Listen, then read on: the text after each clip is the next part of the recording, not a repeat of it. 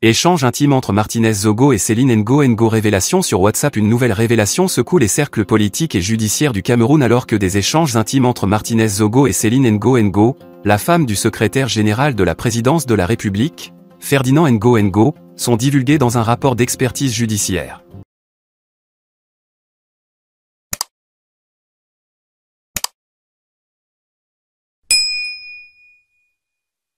Le rapport, composé de 132 pages, portant sur l'expertise des téléphones, a été commandé par le juge Sikati Kwamo II, mettant en lumière des conversations sensibles entre les deux parties ainsi que d'autres personnalités.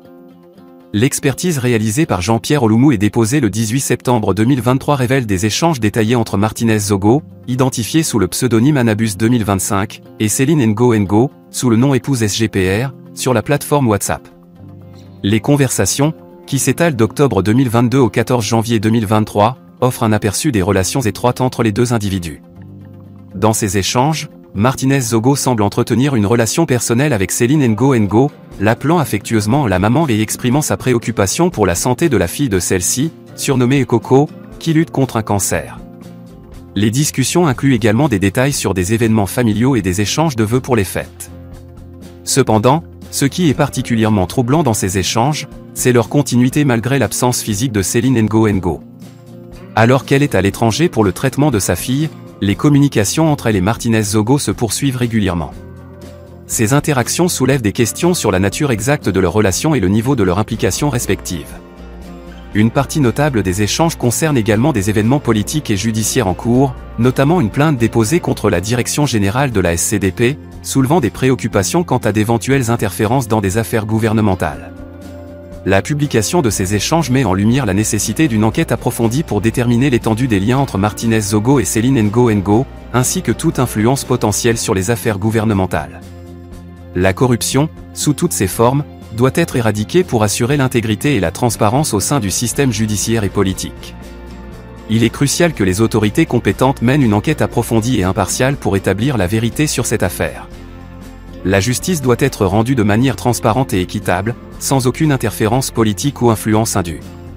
Alors que de nouveaux éléments continuent d'émerger dans cette affaire complexe, il est impératif que la lumière soit faite sur toute forme de collusion ou de comportement répréhensible. Le peuple camerounais mérite une gouvernance transparente et responsable, où la justice est respectée et appliquée pour tous. L'activiste Nzuimanto lance une chaude alerte au peuple camerounais gendarmes, militaires et civils impliqués dans des enlèvements pour rançon prudence et vigilance de rigueur, surtout pour les membres de la diaspora. Le Cameroun n'est plus dirigé chaud d'alerte à tout le peuple. Alerte au Cameroun une situation dangereuse impliquant gendarmes, militaires et civils Une alerte sérieuse a été lancée par l'activiste Nzuimanto concernant une situation extrêmement dangereuse au Cameroun. Selon ces informations, des gendarmes, des militaires et même des civils seraient impliqués.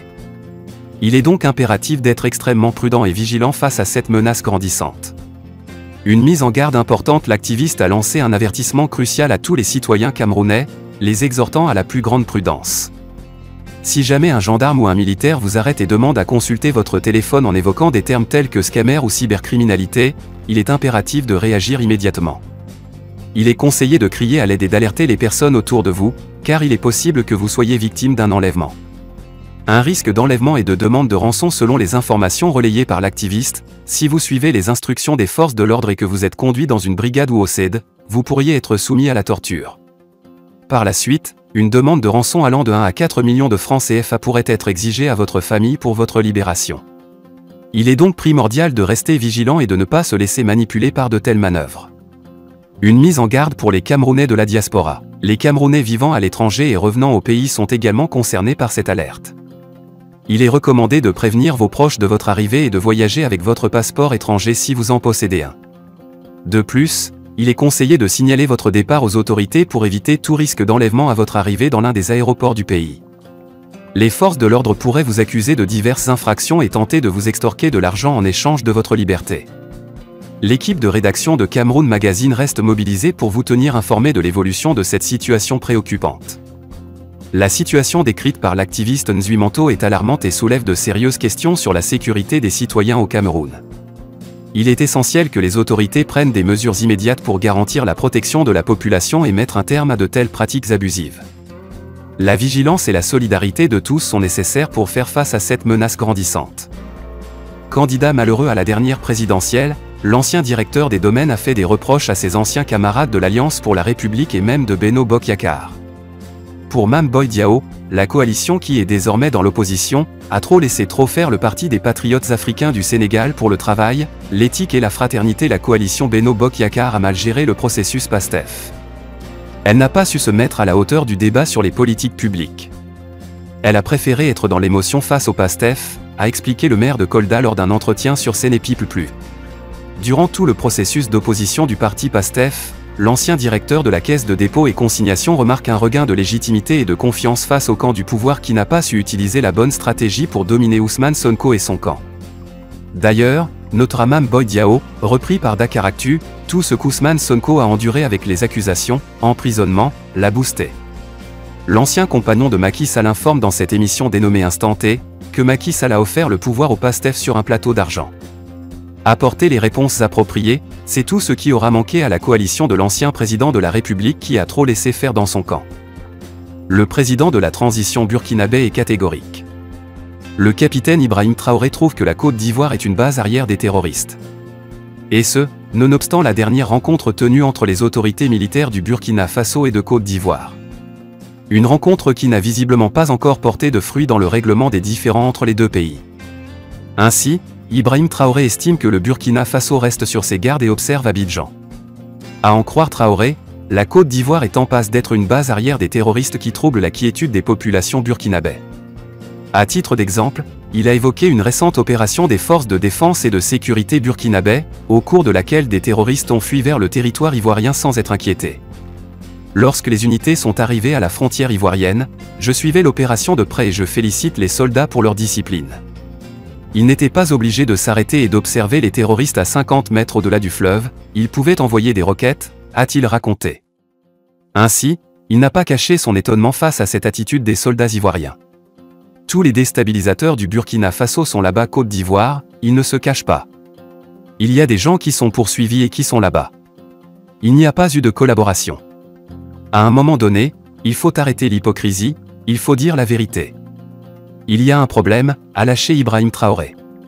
Fustigeant cette attitude des militaires ivoiriens, Ibrahim Traoré rappelle que son pays était dans cette posture par le passé. Pour lui, ce sont des comportements qui ne sont pas bien, il faut le dire. Le Burkina Faso a connu ça aussi. On était une base arrière des terroristes continuant son argumentaire, il invite les autorités ivoiriennes à revenir en de meilleurs sentiments. Quid des discussions en ours avec Alassane Ouattara pour résoudre le problème Ibrahima Traoré déclare au début, on a un peu échangé au téléphone, il m'a envoyé des émissaires et on a discuté, on espérait que les choses aillent dans le bon sens. Mais peut-être qu'on n'a pas cédé à certaines choses, on ne sait pas ce qui s'est passé. Il y avait le contact, mais ça s'est rompu concernant les conflits frontaliers entre les deux pays, il révèle qu'ils sont fréquents. Les derniers en date ont conduit à l'interpellation de deux gendarmes au Burkina Faso et de deux soldats burkinabés en Côte d'Ivoire. Une situation que le chef de la junte semble minimiser. Incident mineur ça, ce n'est pas un problème pour nous a déclaré Ibrahim Traoré. Cabral Libye déterminé à empêcher le congrès de Maroua du 26 mai le bras de fer s'intensifie entre Cabral Libye et la faction Kona du PCRN. Déterminé à empêcher la tenue du congrès du parti prévu le 26 mai prochain à Maroua, Cabral Libye a mandaté une délégation de cadres du parti pour rencontrer les autorités administratives de la région de l'extrême nord une mission d'information auprès des autorités composée de deux cofondateurs du PCRN, Massardine Albert Fleury et Wanfeo William, du secrétaire général national en exercice, du secrétaire général de la délégation régionale PCRN de l'extrême nord, du président de la coordination départementale PCRN du Diamaré et des présidents des comités communaux des 03 communes de Marois, la délégation a été chargée d'informer les autorités sur les irrégularités entachant la convocation du congrès. Des militants mobilisés accompagnés de plusieurs dizaines de militants, les cadres du PCRN ont remis aux autorités une lettre d'information signée par de nombreux militants de base. Cette lettre souligne les vices de procédure qui, selon eux, entachent la convocation du Congrès et en font une initiative illégale. Cabral Libye contre-attaque l'exclusion de Cabral Libye et de 23 autres militants du PCRN, prononcée en novembre dernier par la faction Kona, n'a pas refroidi ses ardeurs.